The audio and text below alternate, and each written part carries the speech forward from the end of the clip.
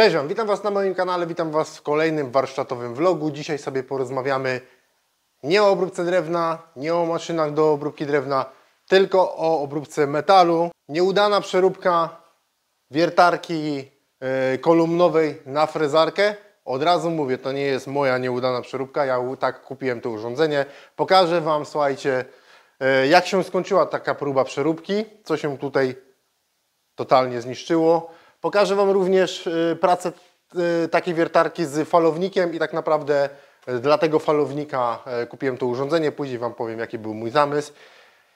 I teraz tak, ona tu od jakiegoś czasu stoi. Ci, którzy oglądają mój kanał, ją widzieli już pewnie nie raz. Nie sprzedałem ją do tej pory, bo nie ukrywam, że troszeczkę mnie korci, żeby jednak z niej zrobić frezarkę. E, nawet w ramach takiego, słuchajcie, eksperymentu. Mam kilka pomysłów.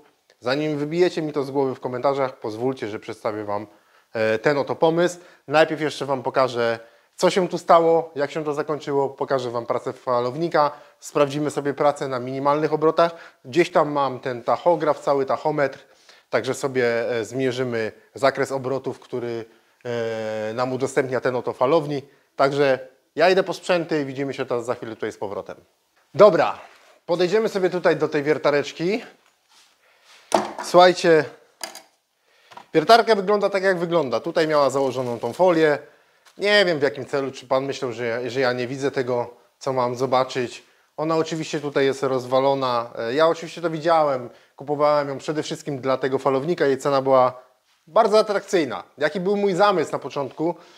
E, To nie było tak, że ja ją kupiłem z myślą, żeby ją przerobić na frezarkę, bo mam podobne zdanie na ten temat jak Wy. I gdyby nie te moje ostatnie pomysły i taka chęć no, zabawy, eksperymentu, to może bym dawno się już jej pozbył. Chciałem zrobić małą podmiankę. Ona, ta wiertarka, ma tutaj również założony mocniejszy silnik, bo silnik ma 1.1 kW, czyli dość duży silnik jak na wiertarkę stołową i myślę kolumnową i myślę, że to też jest związane właśnie z przeróbką jej na frezarkę. E, Ten silnik został wymieniony na mocniejszy. Do tego mamy tutaj falownik, falownik Danfoss VLT 2800 i tutaj mamy ten panel zrobiony wraz z całą instalacją. Jest to już wszystko ze sobą skonfigurowane. Mamy lewe, prawe obroty, mamy podcentometr obrotów i włącznik.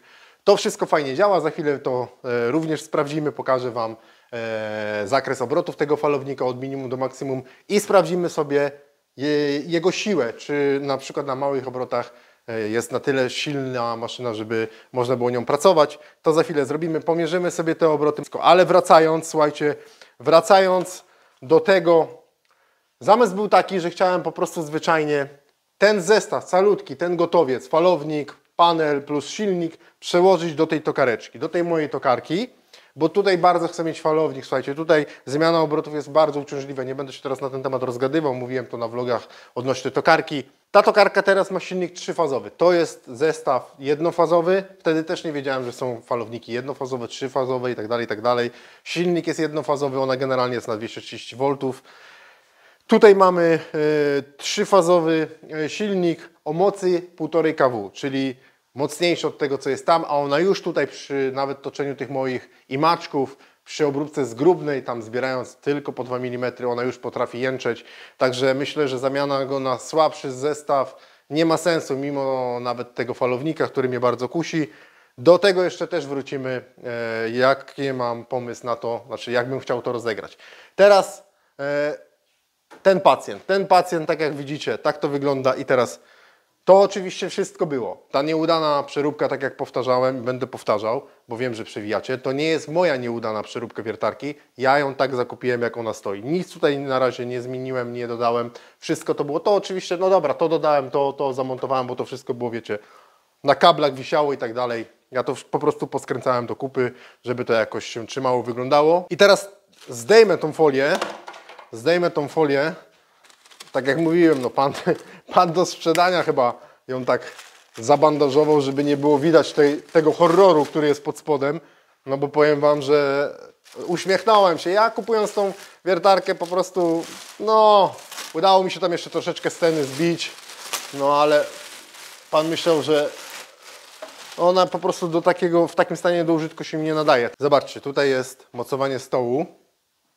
Widać tutaj ono było pęknięte, było pospawane, dlatego są tutaj jeszcze No jest to wzmocnione jeszcze wkrętami. Z drugiej strony teraz zobaczcie, z tej strony, co tu się dzieje. Tu już jest po prostu, to wszystko puściło.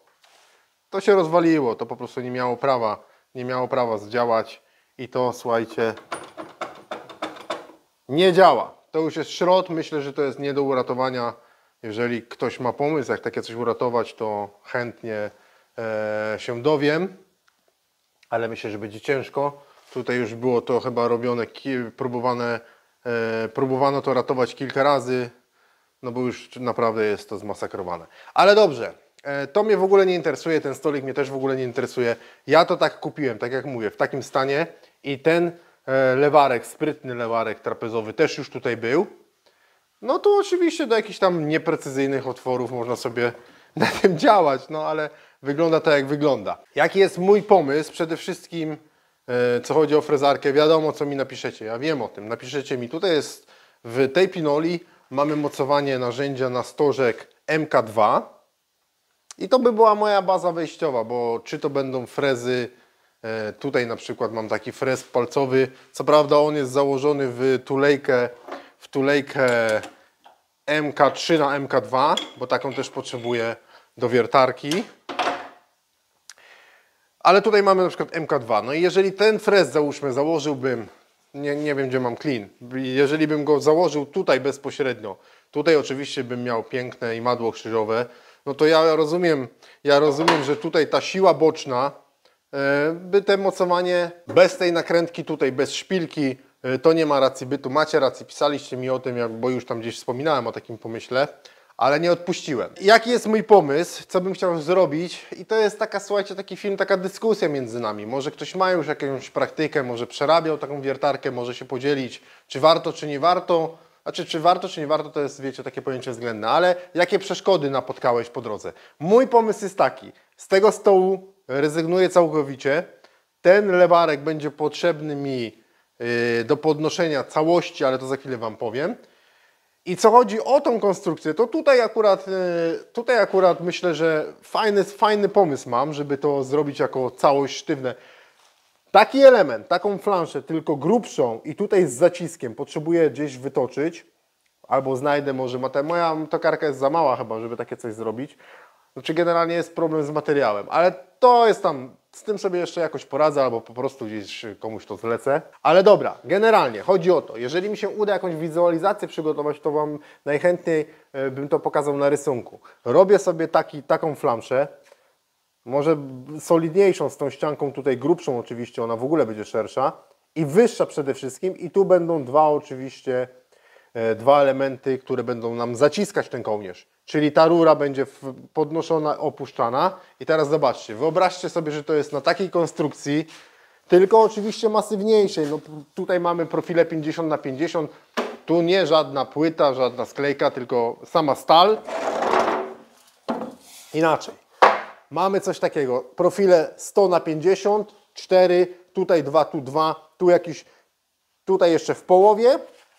Na to mamy tutaj grubą blachę i tu mamy tą naszą flanszę, to co pokazywałem przed chwilą, w którą schodzi nam kolumna wiertarki.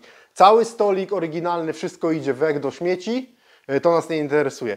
Tą dorobioną flanszę mam tutaj, w to mi wchodzi słup wiertarki, a ten podnośnik trapezowy mam zamontowany tutaj. I on mi po prostu dźwiga całą kolumnę frezarki.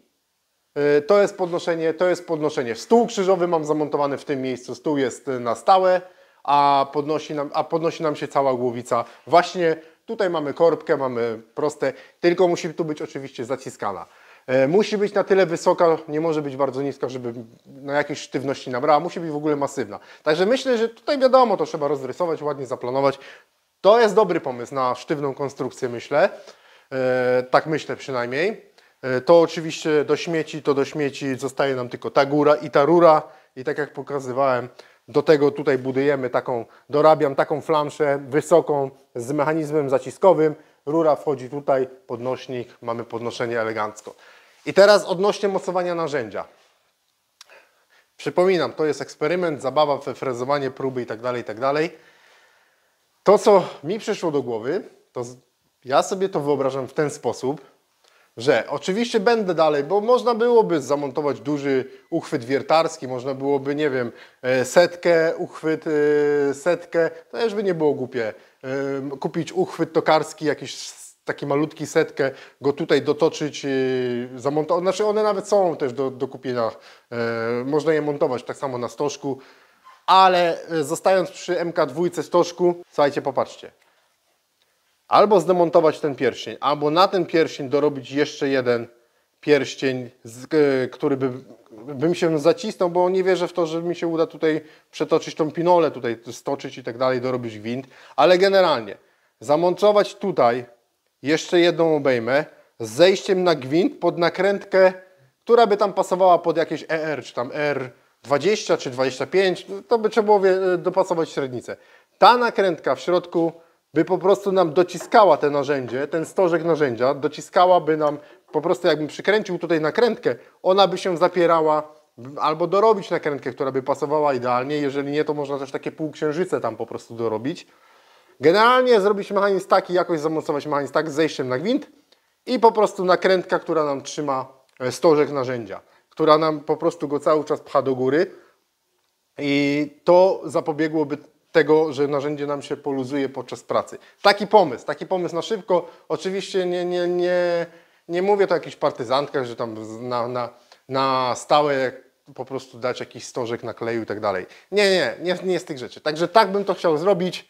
Yy, nie wiem, nie wiem czy jest, czy jest sens, czy warto. Myślę, że to by mogło zadziałać, chociaż może nie byłoby takie łatwe. Teraz słuchajcie, falownik. Słuchajcie, falownik, tak jak mówiłem, falownik chciałbym mieć w tokarce jak najbardziej. Zobaczcie, on sobie tutaj, tam go włączyłem, włączyłem.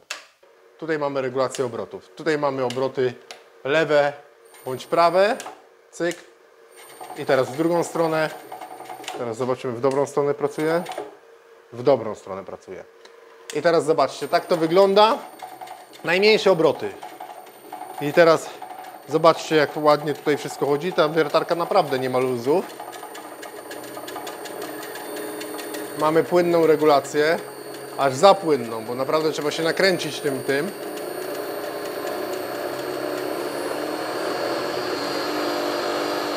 Maksymalne obroty. I teraz weźmiemy sobie, zrobimy pomiar tych obrotów. Czekajcie.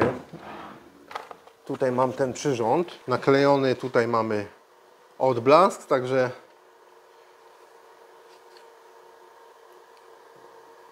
Będziemy mierzyć go od maksymalnych obrotów, słuchajcie. Damy prawe obroty maksymalne.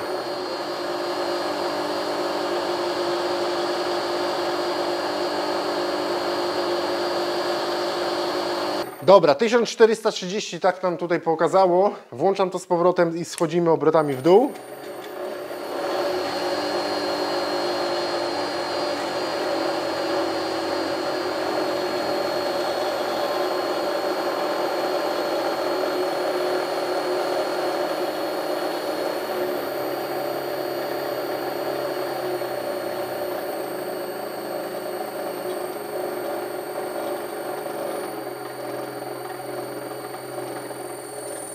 600 520 420 388 300 280 271 to jest minimum.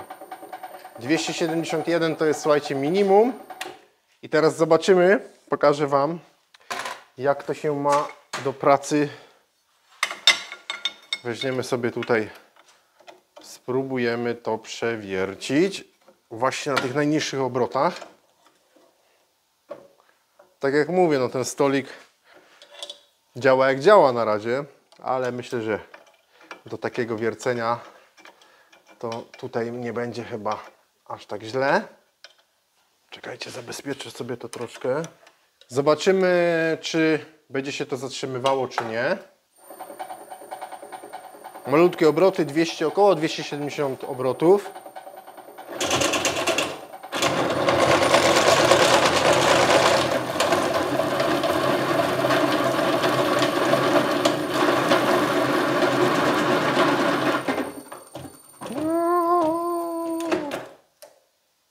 Dobra, jeszcze raz. Na końcu złapało. Dobra, ok. Wyłączamy to. Poszło bardzo dobrze. Tam na końcach się przebijało, wiadomo, zatrzymało. Teraz damy troszeczkę większe obroty i to troszeczkę przestawimy. W sumie to najważniejsze były, wiadomo, te najmniejsze obroty, bo jak na tych małych będzie działać, to będzie działać i na większych. Dobra, przestawiam to na ten pierwszy otwór. Dobra.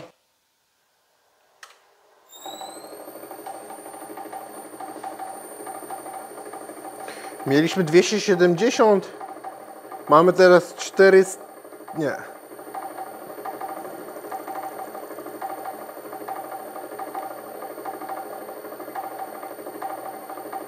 Trzysta sześćdziesiąt obrotów. Dajmy kapkę więcej, chociaż to jest duże dość wiertło. 480 380 obrotów. Dobra, 380 obrotów. Zobaczymy jak to teraz pójdzie.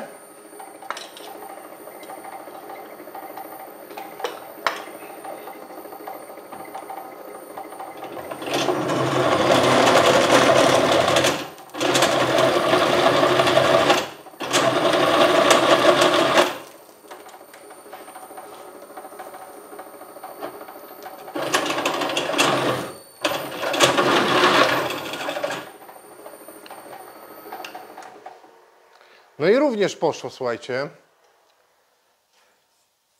No tak jak wiadomo, no to jest dramat, wszystko się, wszystko się rusza i tak dalej. Ta przeróbka, o której mówiłem tutaj, w sumie jeżeli się zdecyduje na tą przeróbkę, to zacznę na pewno od tego stołu, bo, bo ten stół będzie również działał w opcji wiertarki. Jeżeli bym chciał z tego po prostu zrobić sztywną wiertarkę, to również mogłoby działać, nie? Bo tak, e, najpierw, najpierw to, Później przeróbka mocowania narzędzia i na końcu kupno stołu krzyżowego. Oczywiście w grę wchodzi tylko ten najtańszy stół krzyżowy chiński, który jest dostępny wszędzie na Allegro za około tam chyba 500-600 zł. Nie chcę tam, wiecie, e, inwestować w jakichś wielkich pieniędzy. Jak to mi nie wypali, to stół krzyżowy i tak mi się przyda, i tak mi się przyda. E, napiszcie, co o tym sądzicie, czy jest warto się w to w ogóle pakować. E, no urządzenie wejściowe jest takie, mamy falownik, jest falownik, jest mocny silnik 1.1 kW yy, i zostaje nam ten słup. Trzeba zrobić yy, podstawę, trzeba zrobić yy, tutaj tą flanszę z mocowaniem zacisku. Drugi temat to jest, ale to już nie na ten film, frezowanie na tej tokarce, ale to nie jest takie frezowanie ogólne, to jest tylko po prostu frezowanie tych oto, tych oto, słuchajcie, takich oto imaków, które sobie tam toczę od, od, czasu do czasu. Po prostu tą ściankę z jednej strony będę chciał z fazo, znaczy splaszczyć, czyli po prostu tutaj taką powierzchnię płaską wyfrezować. Do tego będę chciał to zrobić na, na tokarce. Na to też mam pewien pomysł, do tego wrócimy. Tutaj wiadomo, że będę musiał taką windę za, zainstalować zamiast tych, y, tych sanek na tym super, suporcie poprzecznym. Na to mam też fajny pomysł. Tutaj zobaczcie, jeżeli widzieliście, mam taką część z mojej strugarki. Taką część. Czekajcie, postaram się to wyciągnąć, żeby Wam zobrazować. I to jest o wiele bardziej realne, że tak powiem. Tutaj mamy taką windę, góra-dół. To jest opcja grubościówki na strugarkę. Ale ja bym to odkręcił, zostawił tylko tą część.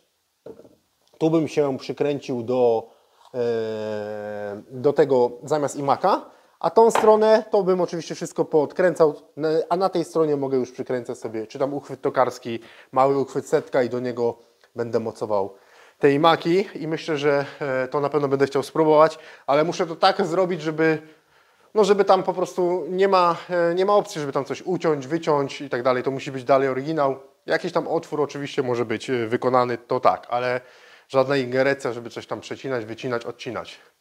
Także tyle, słuchajcie, tyle.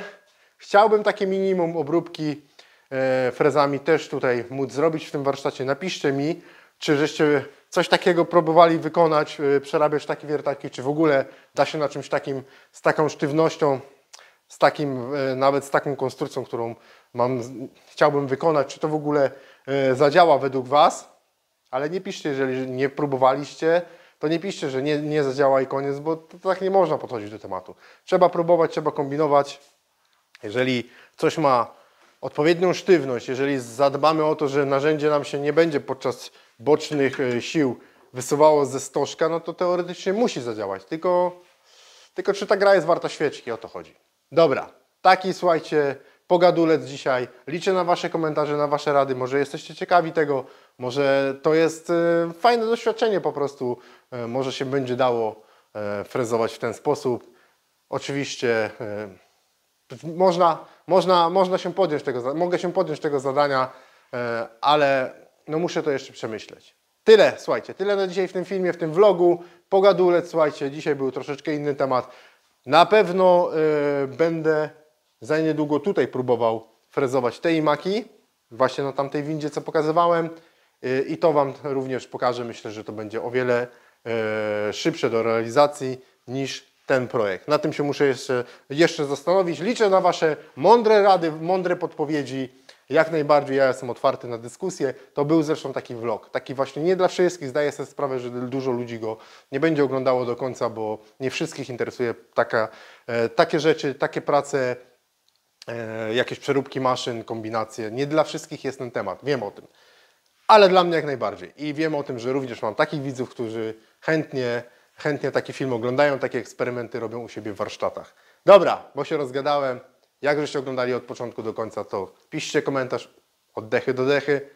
No, tak musi zostać, taka tradycja. E, widzimy się w kolejnych filmach. Jeżeli jesteś nowym na tym kanale, to tu jest, tu jest wszystko o wszystkim, słuchajcie. Nie tylko e, takie rzeczy, nie tylko praca w metalu. Praca w metalu to jest świeży temat. E, ostatnio zakupiłem sobie wymarzoną tokarkę.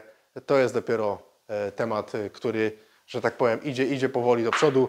W tej szafce już mam naprawdę sporo przydasi i narzędzi potrzebnych do pracy na tokarce. O, o tym też kiedyś zrobię odcinek. Tyle na dzisiaj, słuchajcie. Trzymajcie się. Cześć, do następnych filmów. Słuchajcie, jeszcze jeden temat, bo bym zapomniał odnośnie falowników. Za małych falowników dorwałem coś takiego w Holandii, kupiłem do tej tokarki. Jest to falownik już trzyfazowy, również Danfoss. E, Numer, e, symbol FLT 6000 i to już jest, słuchajcie, konkret. Tak to wygląda w środku. Tak to wygląda w środku. I jeżeli ktoś mieszka niedaleko mnie, czyli niedaleko Kędzierzyna Koźla i czuje się na siłach podłączenia czegoś takiego pod tą tokarkę, to moim marzeniem by było, żeby on sobie tutaj tak wisiał. O! Zamiast tej. O! Tak o! I działał. Tutaj nad tokarką by był panel. Ja niestety tego nie ogarnę. To nie moje tematy. Nie chcę tutaj się pchać, bo to nie są żarty.